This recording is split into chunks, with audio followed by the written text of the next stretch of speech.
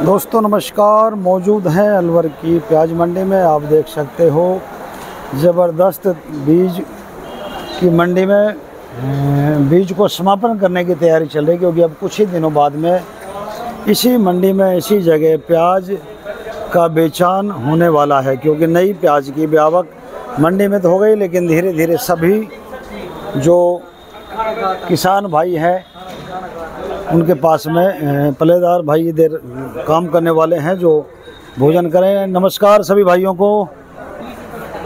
तो धीरे धीरे अब प्याज मंडी है जो समापन की ओर है, क्योंकि मंडी खलने लग गई है और कुछ ही दिनों बाद में अब इसी जगह पर नई प्याज आने वाली है।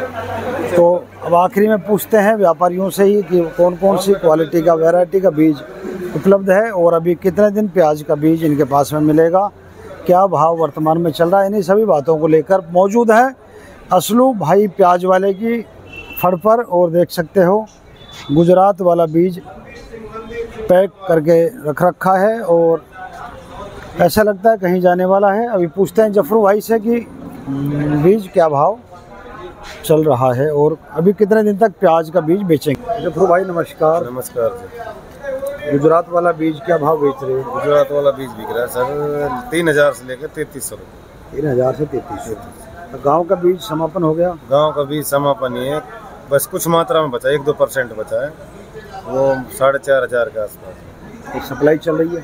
सप्लाई चल रही डिमांड बहुत है लेकिन माल ही नहीं है बहुत फ़ोन आ रहा है एमपी से भी आ रहा है यूपी से। गाँव का बीज अब नहीं है। नहीं है इधर गंगानगर हनुमानगढ़ से भी डिमांड भाई कब तक बीज बेचोगे? बस अब तो एक दो रोज में ही खत्म हो एक दो रोज और फिर नई प्याज का कारोबार शुरू हो जाएगा। नई प्याज की फिर उसकी तैयारी करेंगे नई प्याज की। तो आपसे किसान भाई जुड़ जाएँ प्याज के बीज की जानकारी देने के लिए प्याज में कोई समस्या हो उसके लिए आपके मोबाइल नंबर पूछना चाहेंगे। देखो अब जुड़ने के लिए जिस जो हमारे पास नॉलेज है हम किसान को जितनी हमारे पास कोशिश है उतनी बताएँगे। और किसान भाइयों से मैं ये भी अनुरोध है किसी पूरे हमने तीन महीने जो बीज का काम किया है, इसमें अगर हमसे कुछ अपशब्द या कुछ गलती हो तो उसके लिए हम क्षमा चाहते हैं। बहुत अच्छी बात है। और किसी बार हमारी कोशिश हुई है हमने अच्छा से अच्छा बीज भेजा है किसान को। जितनी कोशिश हुई है क्वालिटी का बीज भेजने की कोशिश की है।